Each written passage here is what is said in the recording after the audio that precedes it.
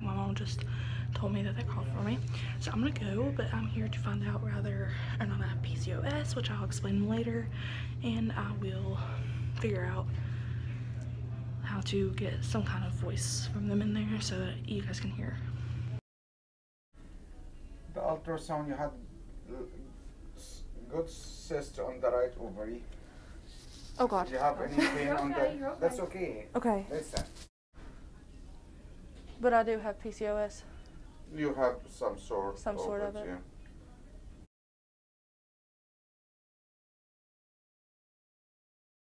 All right, guys. So we just got back from film. From She's abusing me. I am. We just got back from looking at a house that my mom's wanting to buy. We're not looking for a new one yet, but yeah, we got Lena because she. I brought her in because she don't remember Bear, which is the Yorkie.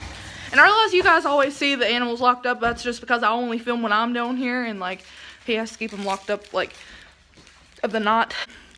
And I only turn. I only come down here of the knot to help him feed the animals and stuff. So there's that. Do you need anything for the knot? You got your laptop and stuff? Yeah. Okay.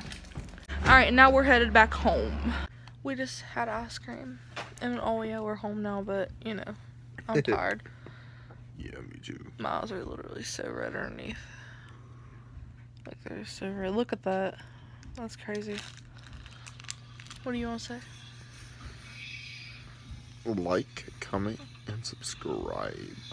Share the video and read the description because there's always important information. Hmm. What do you I'm want to say? tired.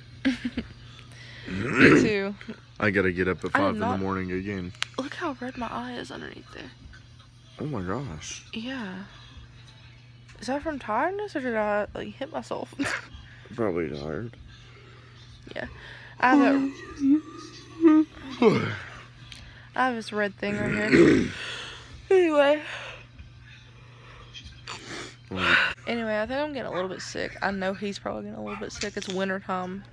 I'll have a full video explaining the meaning of today's video or whatever. I just I've been a little bit stressed and it's crazy, but Yeah.